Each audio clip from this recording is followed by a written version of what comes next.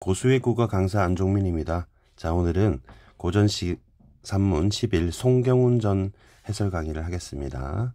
먼저 시작하겠습니다. 무심자는 이렇게 말한다. 자, 무심자는 각주를 찾아보면요. 어, 이 글의 작가인 이기발의 호라고 나와 있어요. 작가가 소술자로 등장한 것이죠. 작가는 이제 이기발이고요.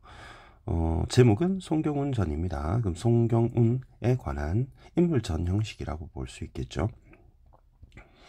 자, 그러면 앞으로 돌아와서 무심자에다가 작가라고 한번 쓰겠습니다. 자, 작가가 작품에서 어, 서술자로 등장을 했습니다. 서술자로 등장을 해서 해설을 하는 방식 볼까요? 예전에 있었던 일이다. 나는 자, 1인칭을 취하고 있죠. 해진 배옷을 입고 어, 배옷을 입었다는 것은 이제 벼슬을 하지 않는다 이런 의미입니다. 여인 말을 타고 노복도 없이 노복은 남자 종이고요. 그리고 혼자 전주성 서쪽으로 어, 따라 서쪽으로 따라 얼음 고개를 오르고 있었다. 그때는 봄이고 3월 상순이라 복사꽃과 복숭아 꽃입니다. 자두꽃이 온 성 안에 가득 피어 있었다. 저 멀리 어떤 장부 한 사람이 보였다. 이제 송경훈이죠. 우리 소개하고려 하는 인물입니다. 돼지팡이를 등에 지고 허름한 짤막한 배옷을 입은 그는 자, 요 장면은 일단 위에 부분은 이제 배경 묘사가 될 것이고 그 살적과 머리칼이 눈처럼 이었다. 이거는 이제 외양 묘사가 되겠죠. 송경운의 외모, 그의 노래를 들어보니 이러했다. 강호의, 그럼 강호는 자연입니다. 자연과 함께 지내기로, 자연에서 살아 지내기로 약속을 정해두고 10년 동안 사대부 벼슬을 하면서 지냈는데 그것을 모르는 흰 갈매기 흰 갈매기는 왜 이렇게 자연에 늦게 오냐고 하지만 임금의 은혜가 임금 은혜가 지중하니 지극히 중하니 중요하니 갚고 갈까 하노라. 그러면 지금은 벼슬에 있지만 10년 벼슬에 있다가 자연에 가기로 약속했는데 백구는 빨리 와달라고 조를지 모르지만 내가 임금 은혜가 깊어서 어, 중요해서 내가 갚고 갈 거야 라는 우리 조선 중기의 정구라는 작가의 시조입니다. 이 노래를 부르고 오는 사람 내가 탄 말 바로 앞에 다가와 그제 자세히 보았더니 바로 서울에 바로 연주가 연주가 연주가 송경운이었다. 무심자는 제 작가죠. 예전에 그와 교분이 있었기에 그러면 한양에서 한양에서 작가 이기발과 이기발과 송경우는 만난 경험이 있습니다. 경험이 있습니다. 이렇게 짤막하게 말했다. 대나무 지팡이를 짚은 건 늙어서일 테고 짧은 배옷을 걸친 건 가난해 있을 테고 가난해서일 테고 그냥 걸어가는 건 말이 없어서일 텐데 그렇게 마음껏 노래하는 건 어째서인가 하고 웃는 표정으로 대답했다. 이제 웃으며 말했다. 웃는 표정으로 송경우는 대답했다. 그럼 이게 약간 친근함에서 비롯된 오랜만에 만나서 이제 반가움과 반가움과 또 친하면 농담도 좋아하죠. 그죠? 농담조로 하는 얘기입니다. 그러니까 우리 송경훈이 하는 말이 아이 쇠네 벌써 나이가 70이 넘었습니다. 그리고 쇠네는 예전에 음악을 좋아했지요. 그러니 쇠네는 늙은 악사입니다. 노래란 음악 중에 으뜸 가는 것이지요. 늙은 악사로서 봄날에 흥에 겨워 노래가 나온 것입니다. 선생님은 그게 이상하신가요? 쇠내가 알기로는 선생님은 옛날에 임금을 가까이 모시던 분인데 수놓은 비단옷을 해진 배옷으로 바꿔 입고 멋진 청총만 대신 여인 말을 타고 설랑은 그 많던 뒤따르는 종들을 어찌하시고 노복 하나도 없이 서울 큰 길 대신 산길을 가고 계십니까? 여기는 전주입니다. 어째서 그렇게 고생하고 사서하고 계십니까? 쇠내는 선생님이 유독 이상해 보입니다. 허허허. 그래 마침내 서로 즐겁게 놀리며 한나절을 보냈던 것이다. 자 여기서부터 작가가 송경훈을 어떤 삶을 요약적 제시를 해주는 부분입니다. 송경훈은 서울 사람이다. 자기 말로는 옛날에 이 절도사의 노복이었답니다. 종이었어요. 민첩하고 재주가 있어서 노비장부에서 빠져나올 수 있다, 있었다 합니다. 마침내 군공으로 사과볕을 벼슬까지 했어요.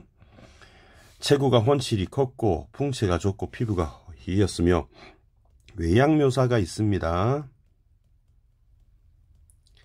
가느스름한 눈은 별처럼 빛나는 데다가 수염이 아름답고 담소를 잘했으며 말하자면 참으로 호남자였다.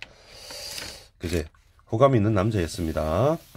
그는 타고나길 유독 음료를 잘 알았다. 음악입니다. 천재적인 능력이 있는 거죠. 아홉 살 때 비파를 배운대요. 비파는 여러분 어, 기타처럼 생긴 악기예요. 우리 잠깐만 비파 좀 알아볼까요? 자, 선생님이 네이버에 들어가서 비파를 한번 검색을 해 보겠습니다. 어, 물고기 비파 아니고요. 여러분 이미지 찾아보면 물고기 비파 말고 이렇게 생긴 악기입니다. 그리고 작가 이기발이라는 작가 있지 않습니까? 이기발을 우리 네이버에서 지식백과를 한번 찾아볼게요. 보니까 고려 어, 조선 후기의 문신인데 어, 여기 읽어보니까요. 벼슬을 많이 하셨습니다. 그리고 우리 병자호란도 겪으셨네요. 겪, 겪으셨습니다. 자, 돌아와서 그리고는 12살에 서울 근방까지 이름이 났다.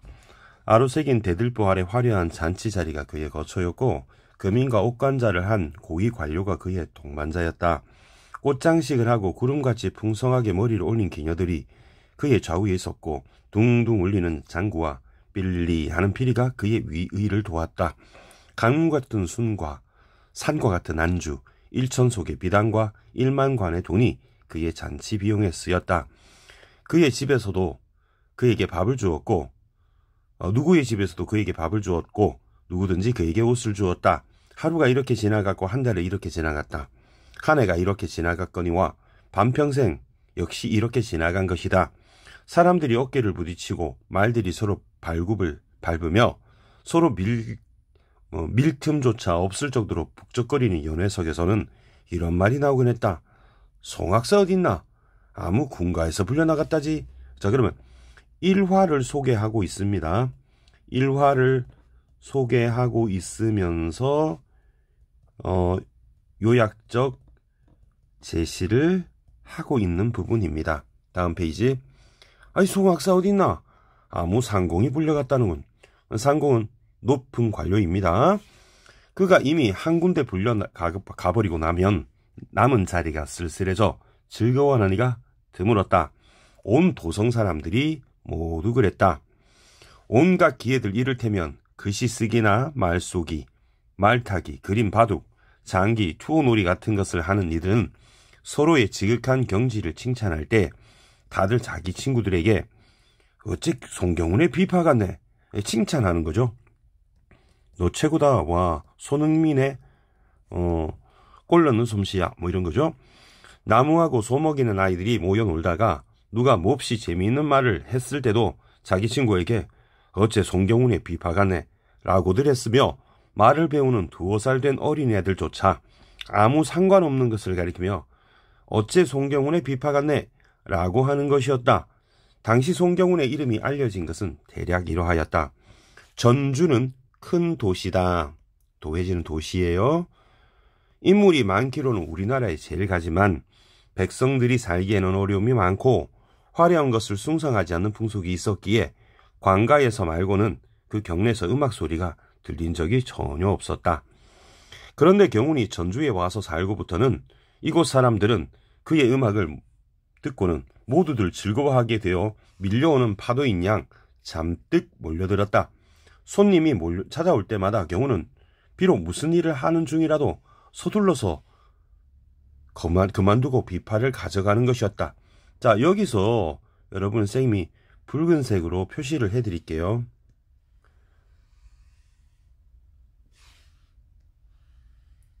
이 부분인데요. 송경훈의 음악관이 나와 있습니다. 송경훈의 음악관 1이라고 할게요.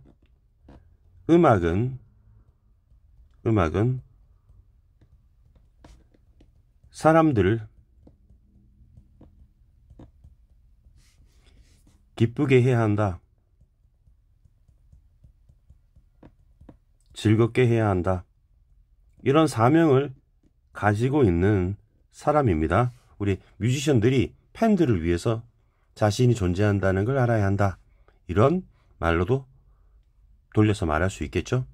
아이 쇠뇌 같은 하찮은 것을 귀하께서 좋게 보아주시는 이유는 쇠뇌 손에 있습지요. 쇠뇌 어찌 감히 손을 더디 놀릴 수 있겠으며 쇠뇌 어찌 감히 마음을 다하지 않을 수 있겠습니까? 자, 이 부분도 선생님이 중요하게 생각하는데요. 이 부분은 송경훈의 음악관이면서 송경훈의 성격입니다. 송경훈의 성품. 성품은 겸손하죠. 1. 겸손이라고 하겠습니다. 아, 그럼 색깔을 좀 바꿀까요? 그러면 잠깐만 있어 보세요.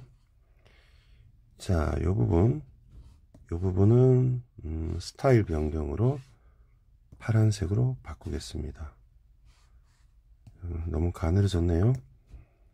그러면 이거는 50으로 완료. 요것도 스타일 변경 완료. 이렇게 하면 되겠죠? 자, 이 부분은 셈이 파란색으로 이거 굵어졌네. 음. 이렇게 바꾸겠습니다. 성격하고 음악관하고 좀 분리해서 표시를 해드릴게요. 그리고는 곡조를 갖추어 비파를 타기 시작하여 듣는 사람의 마음을 흡족하게 하였다는 것을 요 부분이 이제 어 음악관 1일 1과 관련되는 거죠. 알고서야 연주를 끝냈다. 별 볼 일 없는 하인 같은 사람들이 찾아와도 이렇게 응대하지 않는 경우가 없었다. 저요 부분은 어 평등하게 생각하는 거죠. 자, 요 부분은 쌤이 이렇게 파란색으로 칠하겠습니다. 요거는 이제 송경훈의 성품 2라고 하겠습니다. 요 부분은 송경훈의 성품 2번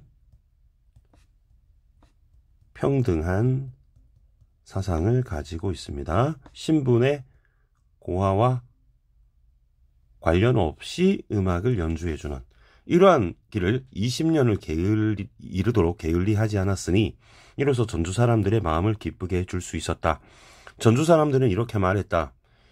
전주는 큰 도회지라 인물도 적지 않은데 사람들 하나하나마다 이렇게 마음을 다해 기쁘게 해주다니 송경훈은 아마 보통 사람은 아닐 거야. 라고 송경훈을 다들 칭송하게 됩니다. 항상 수십 명의 제자를 거느리고 있었는데 그의 행동거지나 범절이나 스승을 사랑하는 존경하는 방식은 유교에서 인륜을 가르치는 경우와 다름없었다. 그래서 그의 명성은 나이 들수록 좀 더욱 성대졌다. 이제 그 송경훈의 명성이 저 높아집니다. 금방의 고을 수령이나 절도사 등이 틈을 보아 먼저 데려가려고 다툴 지경이었으므로 그가 집에 있는 경우는 그이 드물었다. 스케줄이 바빴다는 얘기죠. 언젠가 그와 함께 음악 얘기를 한 적이 있는데 경우는 이렇게 말했다. 그럼 음악 얘기를 할 때요. 그 송경훈의 음악관이 드러나게 되겠죠. 경우는 이렇게 말을 했다. 비판은 옛 곡조와 요즘 곡조가 다른데 지금 사람은 대체로 옛 곡조를 내치고 요즘 곡조를 숭상하고 있지요. 유독 저는 옛곡조의 뜻을 두고 있습니다. 옛곡조의 뜻을 두고 있는 것도 송경훈의 음악관이고요. 그래서 소리를 낼 때 전부 옛곡조로 채우고 요즘 곡조가 끼어들지 못하게 하면 저의 마음이 흡족하고 이야말로 음악답다고 여겨집니다. 이렇게 해서 조급하지도 천박하지도 않으며 넉넉하게 여유가 있는 소리를 낸다면 말세에 사악한 소리를 씻어내고 저 훌륭한 옛날의 바른 음악을 회복할 수 있을 것 같고 내 평생 그런 음악을 하여 후세까지 전하는 것이 마땅하다고 생각하고 있습니다. 자, 그래서 요 빨간 거 두 개를 여러분이 합치면 이제 송경훈의 음악관과 관련된 얘기를 정리할 수 있을 것 같습니다. 그래서 쌤이 어, 여기를 당겨서 송경훈의 음악관이라고 하겠습니다. 송경훈의 집어넣을게요. 송경 훈의 이따가 또 한 번 더 적을 거기 때문에 살짝 복사를 미리 해둘게요. 자 이번에는 아까 송경훈의 음악관 1번 있었잖아요. 이번에 이제 2번 하겠습니다. 2번은 어, 옛 곡조를 전승하는 것, 옛 곡조를 전승하는 것이 음악관입니다.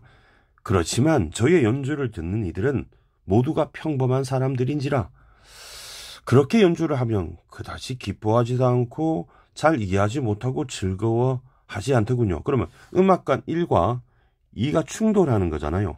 즐거우면 어, 즐거워야 한다고 보는데 옛 곡조를 전승하면 연주하면 즐거워하지 않으니까 가만히 생각해 보니 음악에서 중요한 건 사람을 기쁘게 하는 일인데 쌤이 아까 음악관 1번이라고 했던 거죠. 그죠? 이거 1번입니다. 송경훈의 음악관 1번입니다. 근데 만약 음악을 듣고도 즐겁지 않다면 비록 안 해나 증점이 여기서 검은고를 연주한다 한들 사람에게 무슨 유익함이 있겠는가 싶습니다. 이 때문에 저는 다만 곡조를 변주하여 곡조를 간간히 요즘 곡조를 섞음으로써 사람들을 기쁘게 할 수 있도록 만들었습니다. 자 그러면 세 번째 어, 송경훈의 음악관입니다. 자 그래서 이것은 붙여볼게요. 붙여넣기 3번 3번 그러니까 요즘 유행하는 그죠? 오늘날 사람들이 오늘날 사람들의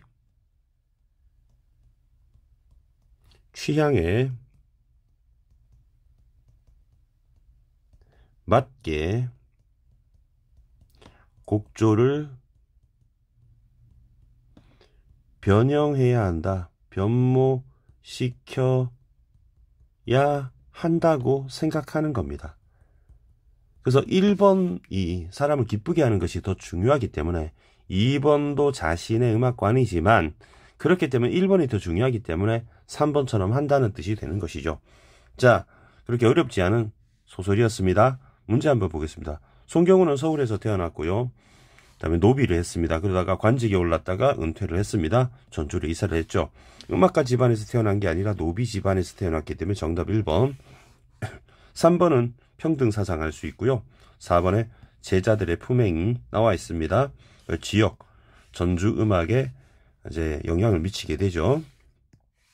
2번 무심자는 외양 묘사 있었죠. 뭐 흰 머리털이 있다고 긍정적으로 표현하고 있습니다. 일화를 제시하고 성격도 제시했습니다. 서술자가 요약을 주인공 요약을 행적을 요약합니다. 가사 우리 어 정구의 시조를 인용했죠. 내적 갈등은 아닙니다. 그죠? 예, 곧 이제 지금은 벼슬에 있지만 곧 임금의 은혜를 갖고 자연으로 돌아갈 거야 라고 했지 내적 갈등은 아닙니다. 맨 마지막에 우리 송경훈의 말을 인용해서 송경훈의 음악관을 드러내고 있습니다. 자, 3번 문제인데요. 3번 문제는 기억을 한번 살펴볼게요. 노란색으로 표시했는데요. 그렇게 마음껏 노래하는 거 어째서인가 하고 이기발이 무심자가 물어봤습니다. 그랬더니 여러분 안타까움은 아니죠. 그죠? 안타까움이 아니라 어, 이렇게 즐겁게 노래하니 왜 그러니 이렇게 물어본 거죠. 그래서 에, 굉장히 농담조로 얘기하는 겁니다. 그래서 2, 3, 4, 5는 생각하겠습니다. 4번 문제인데요. 보기에 유춘이라는 어, 소설이 있습니다. 유춘점. 이제 여기 해금이 나오네요. 그리고 제주를 이루었다고 되어 있습니다. 기회는 높아졌다고 되어 있는데요. 내 음악을 이해하지 못하는 사람이 많았습니다. 자, 근데 거지가 있습니다. 거지는 따르는 자가 수십 명입니다. 이제 거지 음악은 이해를 하죠. 그러니까 내 음악은 어, 알지만 이해를 하는 사람 별로 없다. 그럼 내 음악을 왜 몰라주냐 이렇게 얘기합니다. 그러면 송경훈이 유춘한테 해줄 수 있는 말은 어, 사람들을 기쁘게 해줘야지. 응? 그래야지 진정한 음악이다라고 하는 송경훈의 음악관을 엿볼 수가 있는 것이죠. 그래서 유춘의 음악관과 송경훈의 음악관의 차이 이렇게 정리할 수 있겠습니다. 여러분 어, 고수의 국어는 항상 최선을 다하겠습니다. 여러분 감사합니다.